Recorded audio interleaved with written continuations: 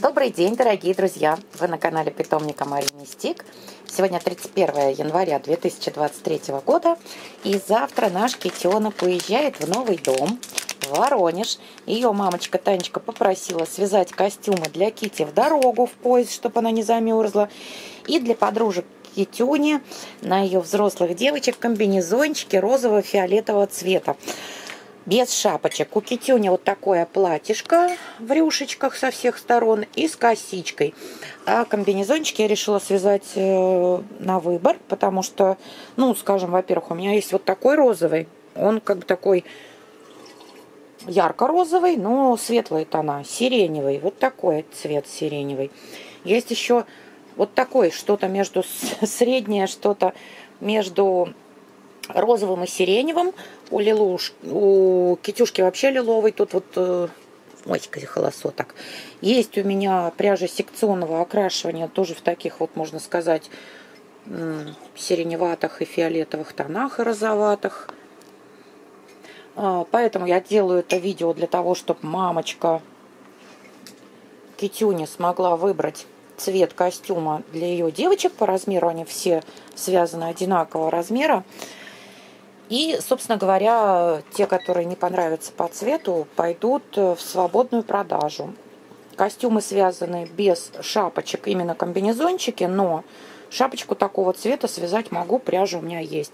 Это пряжа Alize Lana Gold Classic, полушерсть. Она толстая, плотная, объемная на, скажем, вот так холодную осень и холодную весну и на зиму. Вот. Есть еще модели вот такие просто свитера. Вот сейчас я буду начинать заказ вязать на мальчишек. Мальчишкам вот удобно, скорее всего, будет вот такой свитерок, потому что они пихают, не присаживаясь, именно задирая ножку. И готовы вот две шапочки вот к такому свитеру.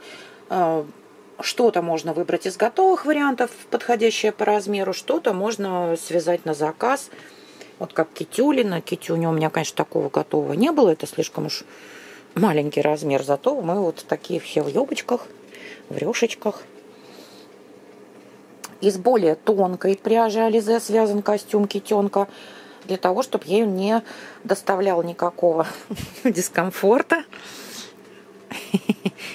чтобы она могла с нем, в нем свободно ехать до дома, спать, и, скажем так, не замерзать. Ой, ой, сказала Кити. Вот. Если вам понравились наши костюмчики, не забывайте Китюльке ставить лайки. Она старалась, она позировала, наша модель. Пожелаем Китеньке хорошей дороги, чтобы она не устала ехать до нового дома. Ярославна уезжает в Гамбург. Мы еще будем делать отдельное видео с Ярославной. Я приступаю к вязанию костюма для Ениты. Так что вот мамочка Енита, смотрите тоже варианты пряжи, какая есть в наличии, из какой я могу связать э, костюмчик для Яниты.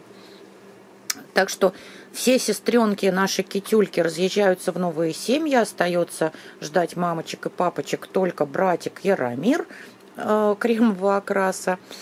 И если нужны для кого-то костюмы, пожалуйста, вяжем на заказ. И есть большой выбор готовых изделий в наличии, пожалуйста.